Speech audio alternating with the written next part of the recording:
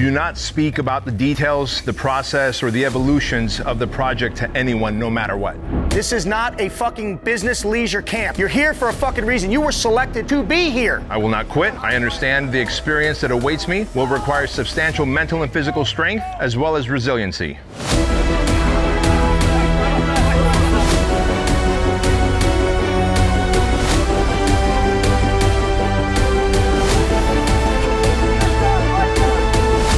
Privilege to be here. I'm fucking honored to be here.